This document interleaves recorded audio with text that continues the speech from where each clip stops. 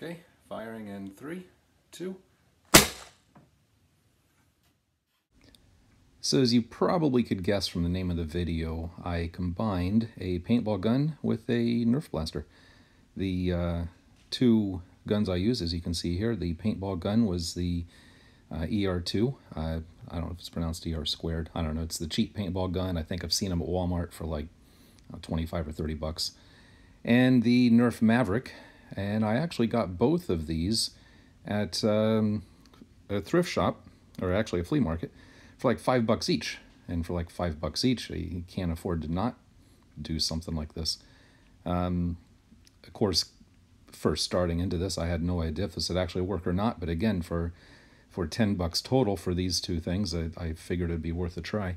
Uh, this picture, you could actually see they're, they're the, the halves are separated. I already started taking it apart. Unfortunately, when I made this, I wasn't thinking about making a YouTube video. So this isn't really going to be a step-by-step -step, um, video here, but we'll take a look at the two pictures I did take while I was making this, and then after the pictures, we'll uh, take the thing apart and I'll point out some more uh, some more things that, uh, that I had to do to get this thing to work properly. So after disassembly, the first step was to cut them apart and uh, start fitting them together. Here you can see where I cut each one in half and started uh, fitting them together. Uh, after this uh, picture here, we'll go ahead and take the take the unit apart and I'll explain how we got each part to work, um, how I got the cocking mechanism to work, the trigger pull to work, um, but basically combining the, the two units together, on the inside I did a combination of using uh, epoxy and um, using a heat gun to try to uh, plastic weld them together, which actually worked pretty well.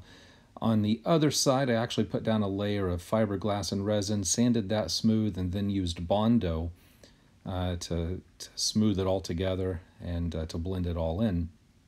And so let's go ahead and uh, look at the finished product taken apart and we'll, we'll see how everything works. Oh, also, while I had it apart, I removed the air restrictors in the barrel.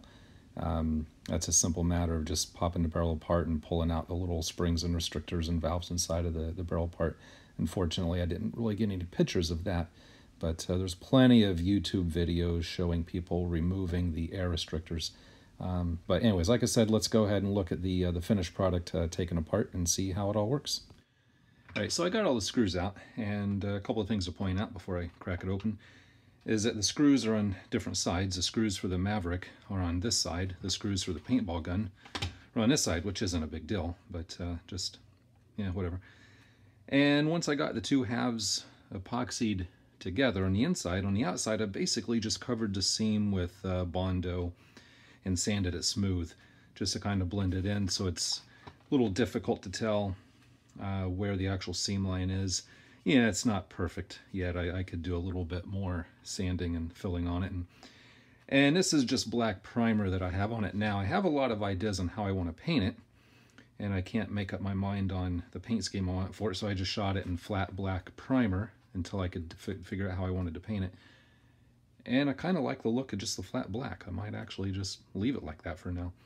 Also important to note that I am all out of orange tape and orange paint and orange markers. So, you know, that tip I'll have to make that orange somehow in the future to make it, you know, I guess perfectly legal or whatever. But yeah, just don't comment that the tip should be orange. I do know that. I just don't have anything right now. So, okay, so the screws are out. If we crack the case open, and we'll take a look at that in a minute. Uh, on this side, we can see here uh, where I have heat welded it together here. Looks like crap, but it works. Then right in here, filled out with epoxy, went over the areas here with epoxy, and some more areas here with epoxy. I said earlier that I had to cut out some material for the trigger to slide, and that's all this uh, right in here. There's some support webbing inside of the structure of the paintball gun. So I had to go in and grind all that out so the trigger would slide properly.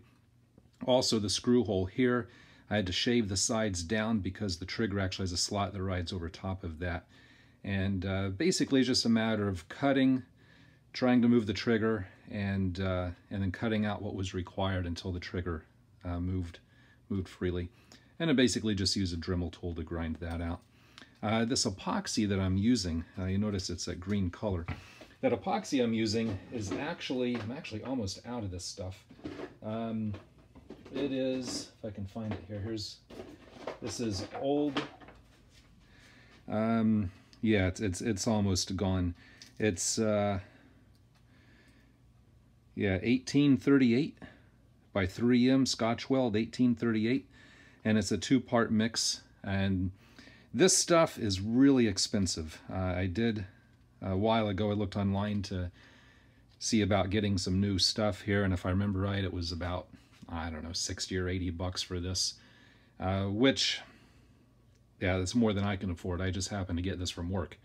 We had a project at work we needed it for and it was left over and and um, it's it's probably several years expired right now, but it still works great. I mean, this stuff is is incredible. It's probably some of the best epoxy I've ever used as far as strength and, and toughness, and it it sticks to just about everything. But um, anyway, so that's almost out. Got to figure out how to get some more uh, cheaply. Right, so again, when I when I assembled these, I laid the two halves flat this way tack glued it, flipped it over, welded the plastic, put epoxy in it, and then once that was all set, I went in and sanded down and then added Bondo, sanded it back smooth. Uh, the biggest area, the biggest gap was actually right in here. That was about the only spot that didn't quite line up very well. That took the most Bondo. And then once I had one side done, I took the other pieces and I screwed them on and then glued them together, then took them off and filled them in as I explained earlier. That way it would guarantee all the bolt holes would, uh, or the screw holes would line up properly. All right, uh, the next part, right here. So obviously this is the mechanism for the paintball. Uh, the CO2 cartridge fits in here. And of course we have the, uh, the plug here, screws that in. And the way this works is, uh, remember I talked about the cocking mechanism, and on the Maverick it was, it was actually up here, and on the paintball gun it was down here. So my first thought was to put the the part from the Maverick up here, but it just it didn't fit right, and it would have been more trouble than it was worth to try to make it fit. So all I did was, this is the part, this black plastic piece here, this is the part that actually uh, cocks or, or cocks the mechanism here. And this had a section that went down and forward, and I, for the paintball gun cocking mechanism, I just cut that off. Then on the other side, on the other side, I just, uh, see if I can flip this without losing everything.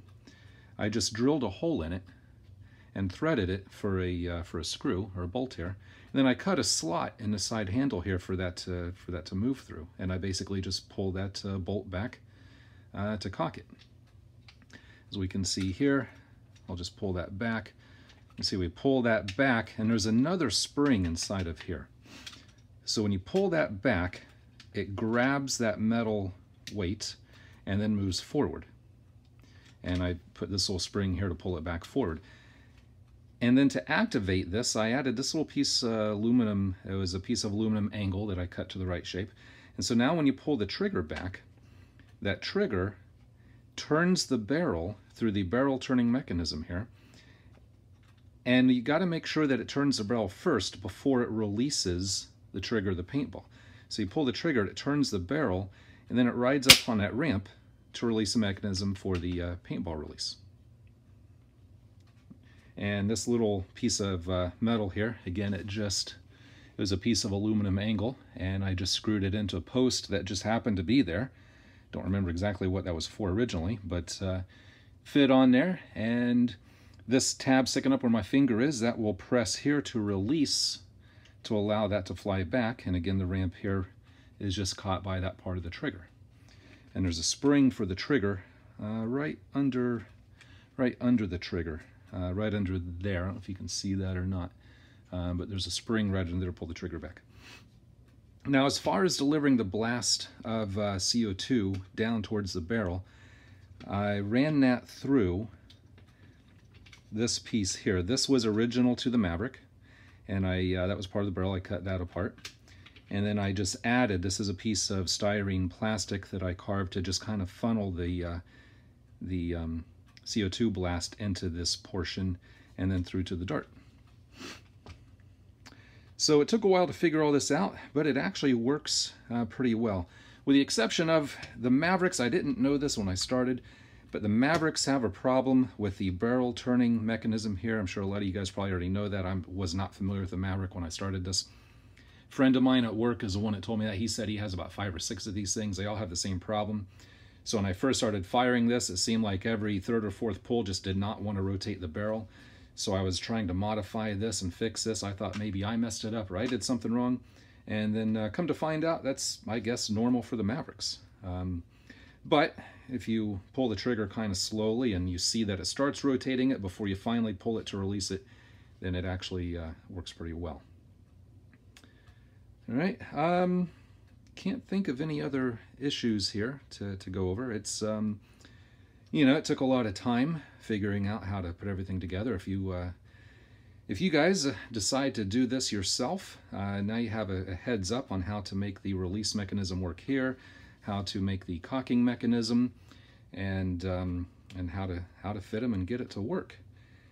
That is, if I didn't have a patent on this, you could do that, which I don't, but whatever. Um, so, have fun, knock yourself out, and uh, I'll put this back together, and I'll do a few more firings of it uh, towards the end of this video. I'll, I'll shoot a few more darts out of it. Now, it does have one major drawback, though, one big problem that I didn't realize when I did this, and that is, um, you know, the, the blast from this is just, the, the video just does not do it justice. It, uh, it's much more, you know, powerful and louder and exciting in person than on the video. And typically, when you fire a dart out of here, the dart comes out in about two or three pieces. I mean, it, shreds the dart.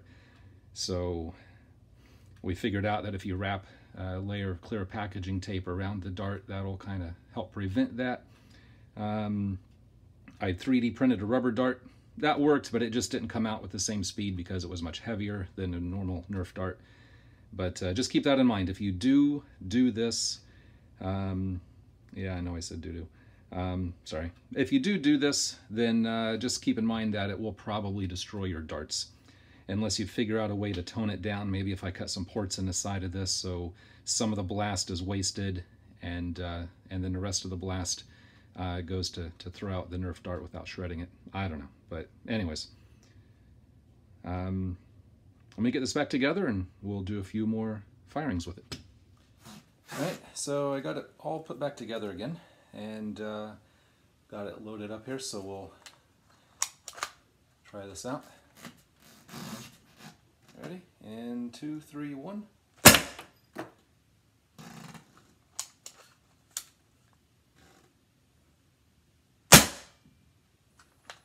Barrel seems to be rotating all right.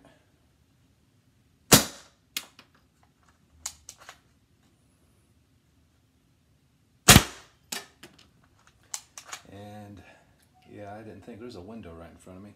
I don't want to hit that. Don't know if it would break it or not, but I don't want to find out either. Yeah, that was the uh, one of the dart tips. Actually, I think they're all shredding as they're coming out. Oh, that was it. So, anyways, I'm all out of darts. And uh, actually, that's a good YouTube channel. You should check that out if you haven't heard of that one. All out of darts. He's got some good stuff. And so uh, that's it. Thanks for watching. Hope you enjoyed it. And I have to go to Toys R Us and buy my son some new darts because I think I pretty much uh, destroyed them all. So, till next time. Later.